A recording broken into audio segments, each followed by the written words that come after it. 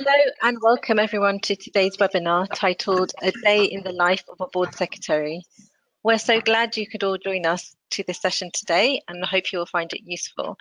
Just to introduce myself, my name is Lakshna Rathod and I work in marketing at the London office.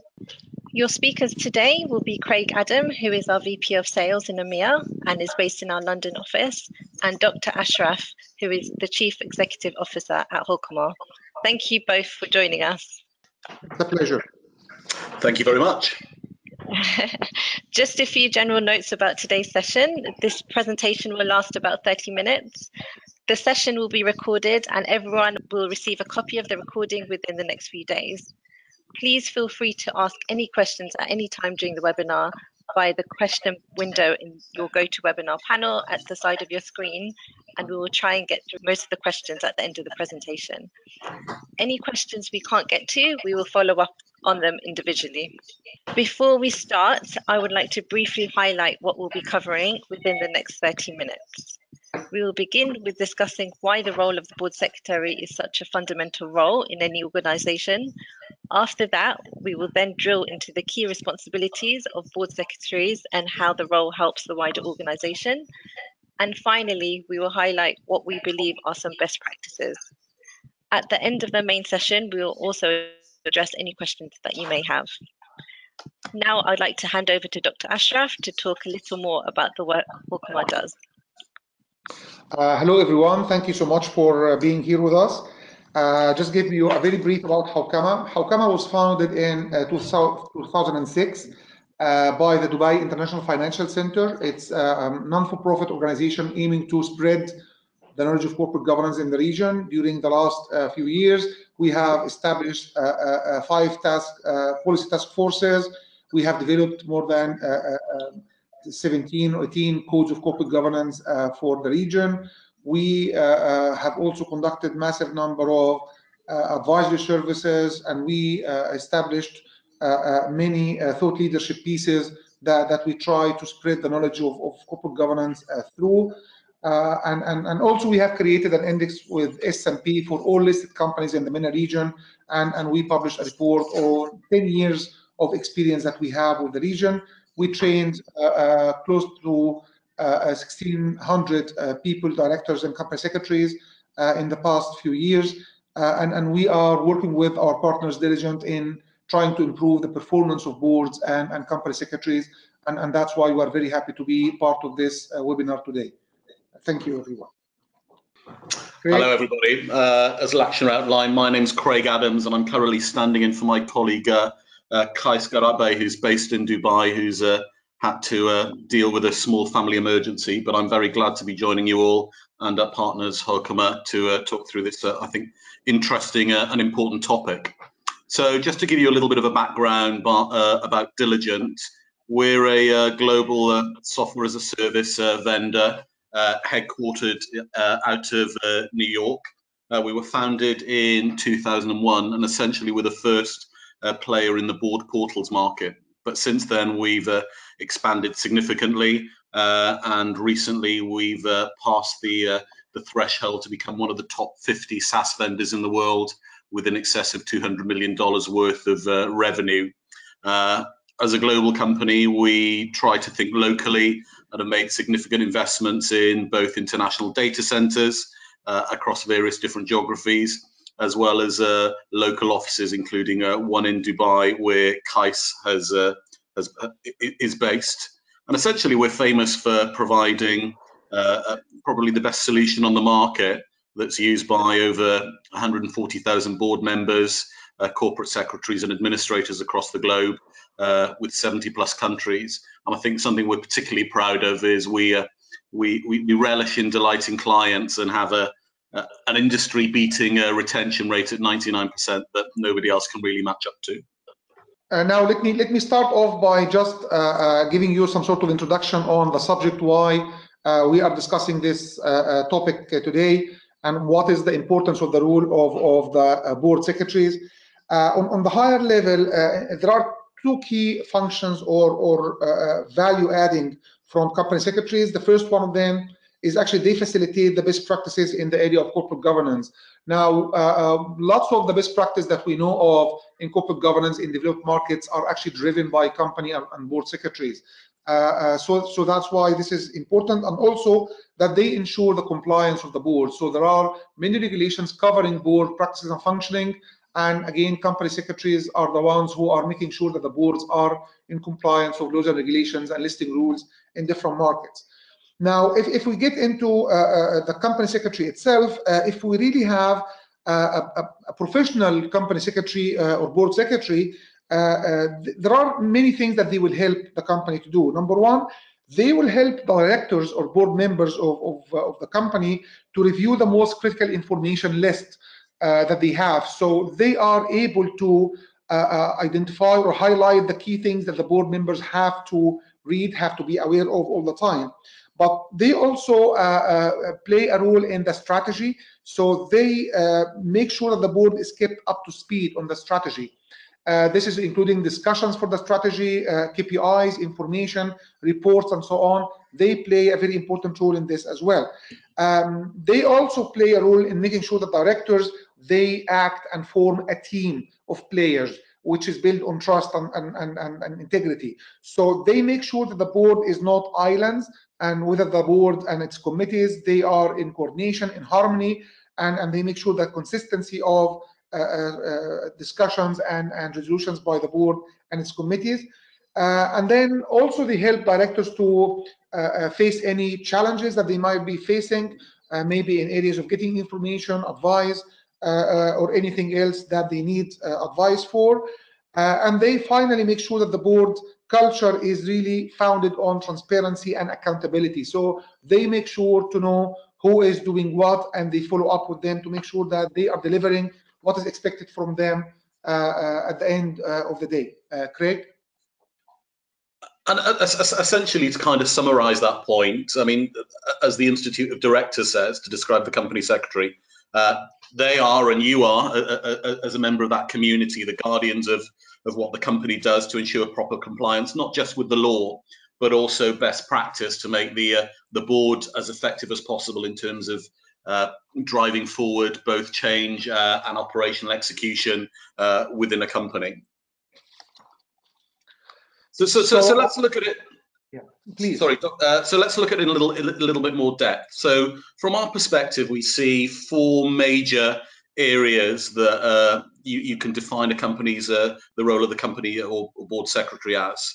Uh, firstly and foremostly, it's actually facilitating uh, board compliance to make sure the boards are operating in line with local and international legislation, uh, particularly in areas such as uh, you know management of uh, management of entities in line with local regulations. Also, organising board best practice uh, to make sure the, the board is uh, operating it, uh, to, to, its uh, true potential and is functioning uh, in a, in, a, very productive and efficient manner. Thirdly, it's maintaining confidentiality, which is particularly important, particularly for those companies that are looking to undertake merger and acquisition or divestment activity. And then fourthly, building those board relationships so that individual board members and committees uh, collaborate together effectively uh, and see the uh, the board secretary as probably the go-to person, man or woman, as they look to uh, move forward and uh, perform their, their, their fiduciary functions within the organisation. So, Dr. Ashraf. Um, so yeah, let's have a, a, closer look at these four uh, sort of key functions. Uh, now, talking about the first one, which is facilitating the board compliance. In, in, in this respect, company secretaries are, are, are trying to make sure that the boards are in compliance with laws and regulations and listing rules of companies if they are listed and so on uh, uh, regarding its functioning. So, for example, they have to take care of the logistics issues, um, sending invitations on time to make sure that it is within the frame uh, set, the time frame set by by uh, regulation. Um, who is invited and and how they are invited, the location of the board meeting to again comply with the company articles association as well as regulatory issues. Uh, all the equipment and supporting uh, uh, uh, technology is available to make sure that the board is, is, is able to comply with all elements of regulation. But also they help to ensure the quorum and compliance at the meetings. And, and by this, we don't only mean that they count the votes and how many board members are there. It's in fact coordinating before this with the, the directors to make sure that we do have the quorum before the meeting starts. We know who is coming, who will be participating by uh, technology, if that's available or, or, or allowed in, in, in, the market and so on. So they make sure that the uh, meeting is has quorum to uh, qualify uh, as, as a legal meeting. They also draft and collect and compile uh, and deliver, of course, uh, the, the, the, agendas for uh, board meetings and its committees. they draft the minutes for these meetings. They draft the resolutions for the meetings and the reports which are required and so on, and they communicate them well to the board members and board committees as well. Uh, they ensure the directors and executives they meet the deadline. So when the company is asking uh, the CEO for a certain report or the CFO or the internal auditor, they make sure that these reports come uh, on time as as uh, requested uh, by uh, the, the, board or if a report has to go to the regulator or the capital market authority, then this actually this is done on time. And then finally, on the disclosure, they make sure that they collect the disclosures which they are supposed to be uh, uh, uh, disclosing out to the market, and also they are communicating in the right manner, uh, which is, is, is again conforming to uh, what they're supposed to be doing legally speaking. So the disclosures have to be done in a legal way, on a timely manner, and so on, to make sure that we are not violating any uh, laws and regulations of the country, country, so which might subject the company to any penalties. Now, on the second function, which is clearly important, uh, corporate governance is not about compliance only. Compliance is, a, is, an important part, but then it's really about best practices. So company secretaries, they have a, a, very important role to make sure that the board is really going for that extra mile to match with the best practice which are known uh, globally, such as the relationship between the CEO and the lead director or the chairman of the board, uh, developing a, a calendar for the board and its committees to know when are the meetings happening and where they are happening and what are the key topics discussed in each of these meetings in advance so the company has a proper calendar which is published properly on their website. Uh, they also communicate the agenda, uh, draft, drafting and communicating the agenda to different stakeholders. They monitor the progress, if you like, uh, uh of, of the different topics which are assigned to the board and they keep records of, of uh, responses and, and interactions with the board and, and the management and the committees, uh, they ensure that the directors and the committee members are in for the meetings on time so that other board members don't get upset that they are wasting their time waiting for other directors. That's again something which is matching with the best practice.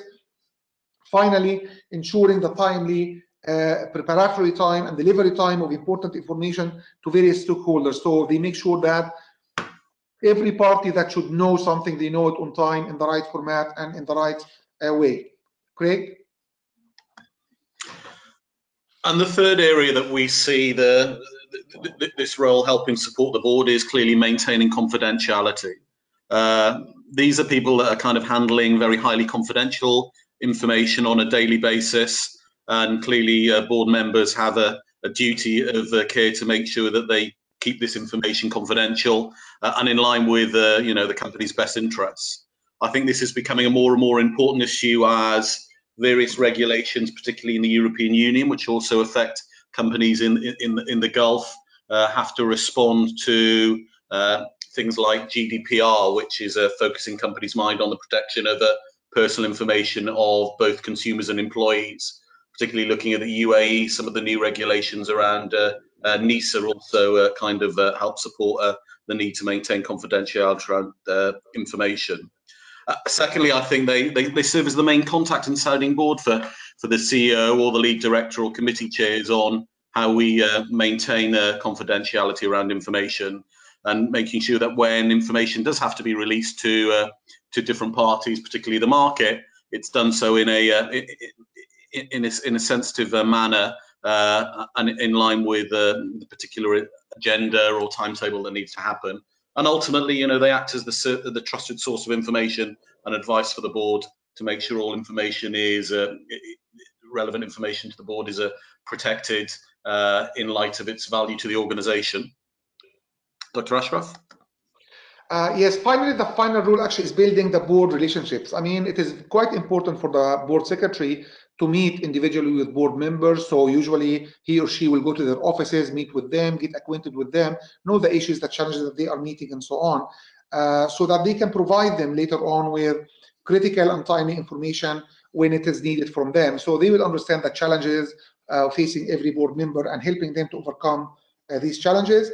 And, and if there are any issues that they see in the boardroom, which which is affecting uh, uh, uh, you know, that the function and the culture of the board itself, such as maybe some directors interrupting others or commenting in their uh, uh point of views or undermining them and so on, they would have to uh, escalate these issues with the chairman to make sure that they actually don't happen. Because if you allow this to happen, this will negatively affect the culture of the board and will, of course, reduce the, the um, effectiveness of the board itself.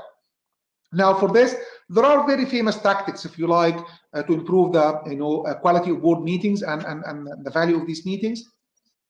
One of them, which is which is a very common sense one, which is making sure that you arrange, uh, arrange for maybe some sort of uh, uh, uh, soft drinks and foods and, and, and beverages and, and, and, allow the board to mingle with each other. So before the meeting, you have some social time for, for directors to discuss things and, and, and have this sort of rapport between them, if you like. Uh, so this is very important to create the right atmosphere before you go into the board uh, uh, agenda and calendar and so on. and of course, the second thing is being the, the, the timekeeper. so if they find out that some board members are talking too much or some points on the agenda are taking too long to discuss, they would have to remind the chairman that, you know, uh, we need to move on or somebody else has to express their, their opinion and so on. So they have to manage the time properly. And if there are some topics which need some uh, long time for discussions, then they make sure that it is actually uh, up on the agenda so that we have more time to discuss, not left to the last few uh, topics where time might be a little bit limited and we will not have time to discuss them uh, in an effective way. Uh, in, in, many cases, they do organize in, in jurisdiction where you have uh, many non-executive directors.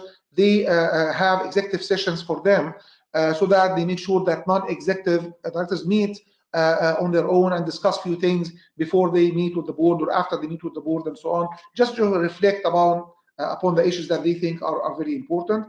They also look at the previous minutes of the board uh, to make sure that whether there are any key decisions that were made or any important elements that they have uh, have to be raised again in, in, in uh, following boards. And they make sure that there is enough time allowed for you know key decisions and discussions. So one of the things that they have to take care of is there is sufficient time to discuss every uh, element on on the agenda, uh, uh, which which is sent to the board members. And then finally, they collect the to-do list. So after the uh, meeting finishes, whether that's for the board or the committees, they have that checklist of what are the resolutions taken, what are the items uh, that they have to follow up with, and who is uh, responsible for what. So they make sure that every single item, there is a person or department responsible for that, and they follow up with the departments to make sure that there is a response which is happening. Uh, finally, sometimes they discuss with the board members whether they have a formal survey, written survey, or just oral survey on what can be improved uh, next uh, uh, in the meeting, how can we have better agenda next time, and so on. So that's also the job of uh, the company uh, secretary. again, it's, it's all about how to have effective board meetings. Craig? So, so uh, uh essentially, how do leading uh, organisations look to uh, tackle this topic and make uh, uh, both the board and the company secretary role as effective as possible?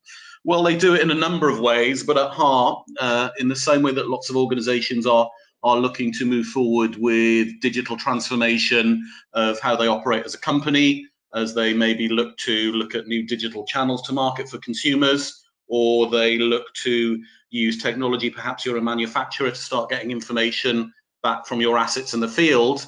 Transforming what how a board operates uh, digitally is the way that we see most leading organizations look to uh, look to make boards as effective as possible and putting in place essentially a, a system that enables you to uh, collaborate and exchange information for the board uh, instantaneously which and then accessed by uh, the users and the uh, board members as they're either in the office or traveling between meetings, uh, and essentially do that in a in a secure way so that the information is is held and essentially sensitive information isn't isn't breached in any way. And by taking that approach, uh, it absolutely de-risks uh, any chance of uh, information becoming lost, but also makes the board and the company secretary more effective as they can do real-time updates to uh, information as you pull together board packs and then distribute them uh, so that uh, directors can access them effectively and, uh, and easily. And we recently did a series of, I suppose what you would call them surveys, with a whole variety of different uh, boards in different geographies. And essentially, uh, kind of, uh, uh, of, of the assumed uh, responsibilities of board professionals, it seemed that a large part of uh, the time of a, of a company secretary and the team around them was utilized in meeting preparation, whether that was pulling together the meeting pack itself or acting through the meeting minutes after the uh, after the uh, after the board meeting itself or the committee meeting. Uh, and essentially, all this was taking time and effort, with not necessarily adding a huge amount of uh, a huge amount of value to uh, the actually effectiveness of the board and the decisions that they made for the company itself.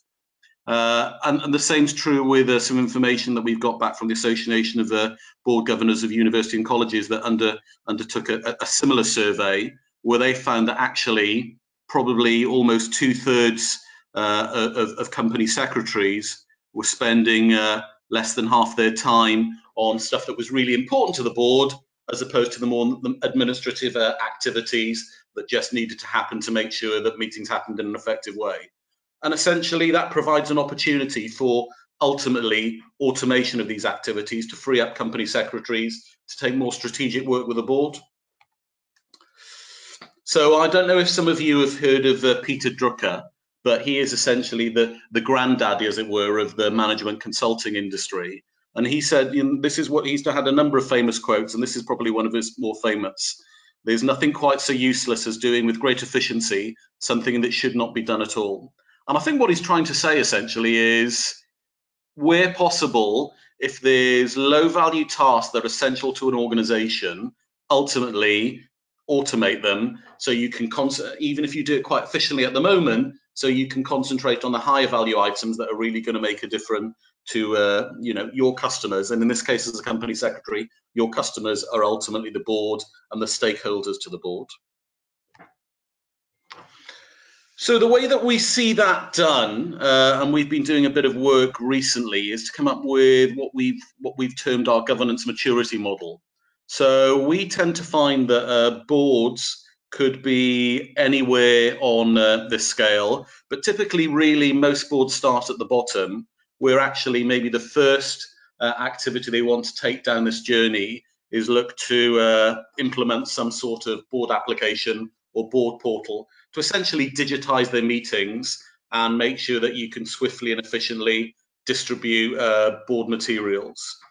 Secondly, then we what we tend to find as boards then look to go go maybe the next step along this journey.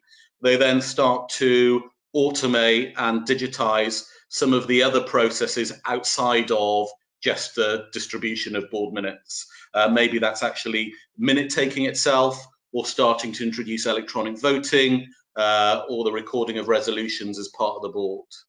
The next step we then see on more forward boards looking is then looking to broaden the use of these sort of uh, technologies into uh, other areas, maybe looking beyond just the board itself to uh, other stakeholders. Maybe if you're dealing with external regulators, maybe there's a way of automating some of the forms that you need to uh, need, need need to produce for, uh, for for the regulator. Or perhaps you want to do things whereby you start to syndicate information and provide information, maybe as short snippets of videos or something to the board to keep them educated on what's happening in the uh, in, in the economy or in corporate governance around them. And probably the top level of maturity, once you've done all the others, is mainly full, uh, fully digitalizing and uh, automating as, as much as possible anything to do with governance of an organization, most typically around entity management for uh, international corporations to make sure that you can automate compliance with local regulatory needs. Perhaps a company who's incorporated within the UAE maybe also has various different entities in uh, maybe the UK or different parts of Af Africa, and maybe make sure all those entities are uh, in, uh, easily compliant with with local regulations, but also provide real-time dashboarding and analytics around how uh, the company as a whole is performing to make sure the board uh, uh, is, is particularly well informed about uh, company performance. And to provide for organisations that are on that journey and looking to improve governance uh, gradually, we provide a whole series of different solutions from a board management portal to other areas such as secure messaging between board members as they uh, work remotely or automatic minute taking or a kind of you know the evaluation framework. We provide an end-to-end uh, uh, set of uh, portfolio of solutions that are integrated to make sure that we can help uh, move you on that journey and essentially using governance cloud which is our uh, our, our, name for this portfolio to help you perform your your role more effectively through the use of automation but also make the board and the decisions they make uh, as effective uh, as possible. So we've come towards the uh, end of the webinar. Uh, should you have any questions, feel free to uh, contact my colleague Kais, whose email is outlined on the slide. And clearly you'll have copies of these uh, via recording, but also the slides themselves if you want it after the fact. But also I'd call on you to to, to look at either our website, www.diligent.com, or the Hawkamah website, hawkamah.org. Uh, and there's a whole plethora of uh, different uh, types of content that you can uh, access on there to hopefully make you more effective, whether that's white papers uh, on board effectiveness or corporate governance, uh, and maybe some case studies that we have of organizations we've worked with in the GCC that might be of interest but also feel free to reach out to us if you want to have a, a demonstration just to understand and contextualize some of the things that we've uh, that we've said today. So look, I, I know we've got a, a, couple of minutes before the end of the end of uh, the webinar scheduled, but Lakshna, can I hand over to you? Are there any questions that uh, that have come in that you'd like myself or Dr. Ashraf to answer? Um, one question has just come through. Um, someone's asked, do you offer a meeting minutes solution? If so, what's the best way of getting a demo? So yes, we, we absolutely do. Uh, we can demo that at your convenience. So the best way to uh, to achieve it is if you could uh, email Kais uh, on the email, uh, and we'll follow up with an email from uh, Kais himself. As I said, he couldn't make it, but please arrange a reach out to him, and he can arrange a demo at a point that is uh, convenient for you. Okay, and um, we've got one more question that's come through, perhaps for Dr. Ashraf.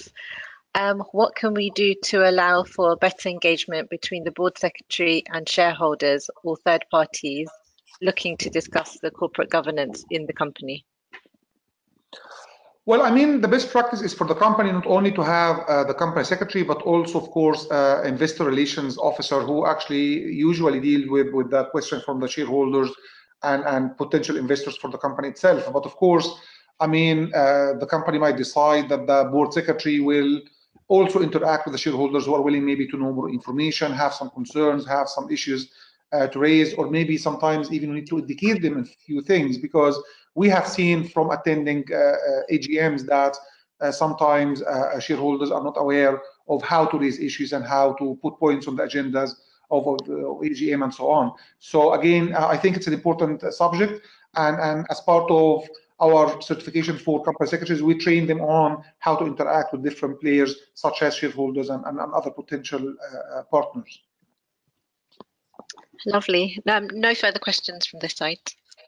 Excellent. All right. Well, look, I would just like to uh, thank you all for your time today, and in particular, thank my uh, our, partner, uh, Dr. Ashraf from Hawkamah, for joining us on this webinar. Uh, as I said, there are various different uh, points where you can access additional information or content, or if anything in particular jumps out, please uh, contact my colleague Kais. We'll be happy to interact with you directly. But thank you very much for the session, uh, and I wish you all a, a very successful uh, day ahead. Thank you very much.